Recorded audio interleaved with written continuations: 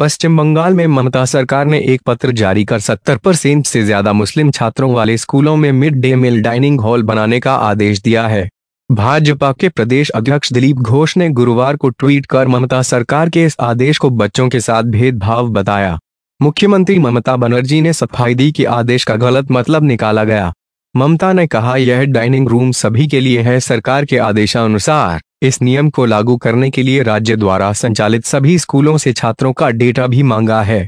भाजपा अध्यक्ष ने ममता सरकार के जिस आदेश पत्र को शेयर किया है वे विशेष सचिव द्वारा 14 जून को कूच बिहार जिला शिक्षा विभाग के नाम से जारी किया गया है।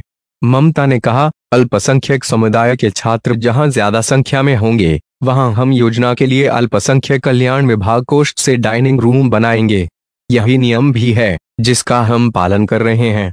यह एक तकनीकी मसला है, इससे ज़्यादा कुछ नहीं। यह डाइनिंग रूम सभी के लिए है। दिलीप ने ट्वीट किया, धर्म के आधार पर छात्रों के बीच यह भेदभाव क्यों किया जा रहा?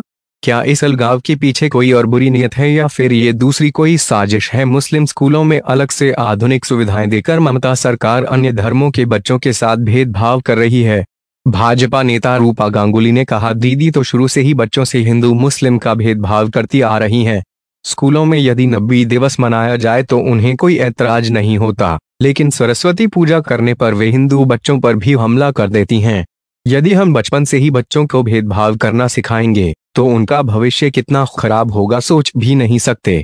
बंगाल के अल्पसंख्यक मामले और मद्रसा शिक्षा विभाग ने आदेश को लागू करने के लिए कवायद तेज कर दी है। विभागों ने उन सभी सरकारी स्कूलों लिस्ट मांगी है, जहाँ मुस्लिम छात्रों की संख्या 70 प्रतिशत से ज़्यादा है। इसके लिए 28 जून तक का समय दिया गया।